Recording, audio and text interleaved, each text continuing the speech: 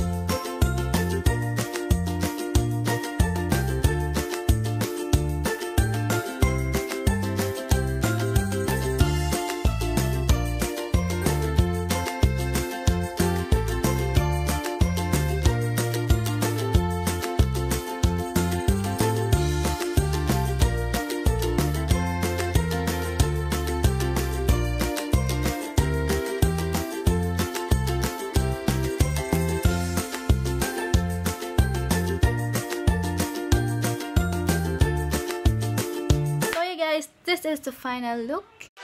Hold up.